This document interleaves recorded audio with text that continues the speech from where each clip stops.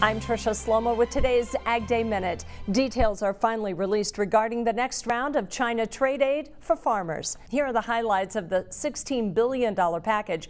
Producers of corn, soybeans, cotton, and wheat will get payments based on the rate set in their county.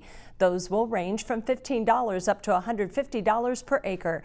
Dairy producers will receive a 20 cent per hundredweight payment. Hog producers, an $11 per head payment. The first payments go out in mid to late August. Sign up starts Monday.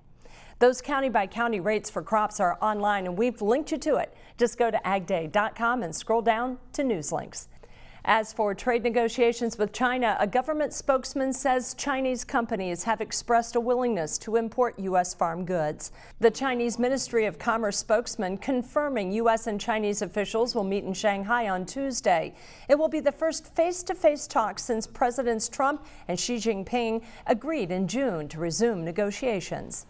Dunkin' will soon be selling a meatless breakfast sandwich. The chain will sell a vegan sausage breakfast sandwich made by Beyond Meat. It will first be available at its Manhattan locations and then possibly nationally. It retails for $4.29. For more Ag News, watch Ag Day weekdays on this station or anytime at agweb.com. Plus, follow us on Twitter, Facebook, and Instagram.